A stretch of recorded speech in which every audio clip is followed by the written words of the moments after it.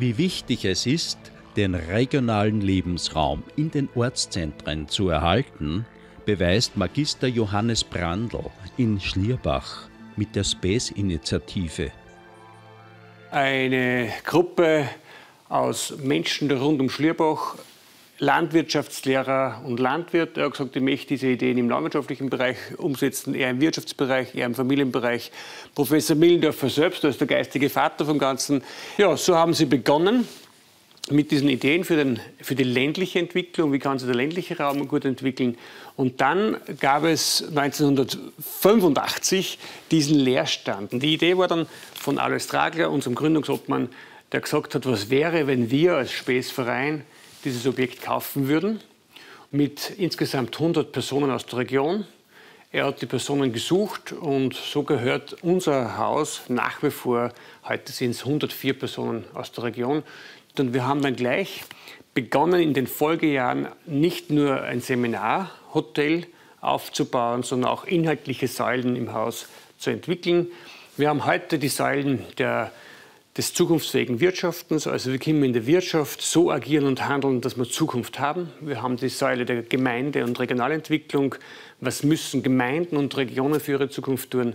Wir haben die Familienakademie und wir haben inhaltlich die Implacement Stiftung, eine Arbeitsstiftung, wo wir Facharbeiter äh, ausbilden. Seit 1995 arbeiten wir zum Thema Lebensqualität durch Nähe. Wir arbeiten in, in den Gemeinden, in den Regionen. Und in den letzten Jahren haben wir immer mehr gesehen, dass das Thema der Ortszentrumsentwicklung in vielen Gemeinden eines der Schwerpunktthemen ist. Ortszentren sterben zunehmend aus. Wir haben im letzten Jahr die Pronar Genossenschaft gegründet. Eine Genossenschaft, die den Leerstand im Ort, in den Ortszentren wiederbelebt. Das Beispiel ist in St. Stephan Afidl, in der Gemeinde St. Stephan Afidl, 1200 Einwohner. Vor drei Jahren sperrte der Lebensmittelversorger zu. Zu wenig Geschäft äh, war seine Begründung. Im letzten Jahr sperrte dann auch noch der Wirt im Ortszentrum zu. Äh, er ist in Pension gegangen. Und irgendwer hat dann recht treffend gesagt, wenn es so weitergeht, dann kann man in St. Stephan äh, Afidl in Zukunft äh, nur mehr begraben werden, aber nicht einmal zur Zehrung können wir uns noch treffen.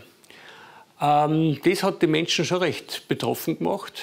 Äh, und deswegen haben wir gemeinsam mit der Gemeinde dort die Bürgergenossenschaft Stephansplatzl gegründet, St. Stephan Afidl, Stephansplatzl. Die Bürger haben das ehemalige Wirtshaus gekauft und investieren jetzt in ein Nahversorgergeschäft, das vor allem regionale Produkte anbieten wird, Sie investieren in ein Kaffeehaus und ins Wirtshaus mit den Veranstaltungsräumlichkeiten. Wir verabschieden uns zunehmend von einer Abhängigkeitslogik, die darauf beruht, dass wir von irgendwoher Mittel und Gelder brauchen, damit wir selber lebensfähig sind.